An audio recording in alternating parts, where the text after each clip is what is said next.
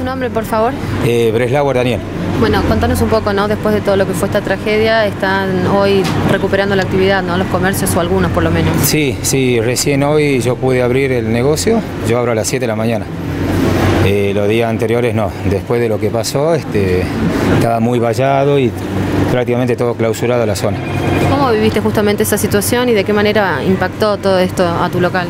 Sí, eh, yo estaba atendiendo el negocio y bueno, explicar es medio complicado, es difícil.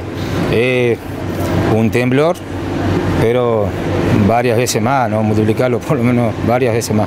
Fue feo. Se sintió una avalancha de escombro y, y la gente corriendo acá todo tapado de polvo. Muy feo, feo, feo. Muy bien, bueno, hoy ya retomás entonces la actividad, ¿no? Mira, La cara mía lo dice todo. Claro. Conmovido por esto que pasó. Y sí, es, es- es difícil. Pasa que por ahí dar un punto de vista, eh, si yo doy el punto de vista mío como comerciante, la gente puede tomarlo mal. No te preocupes. Gracias. Gracias.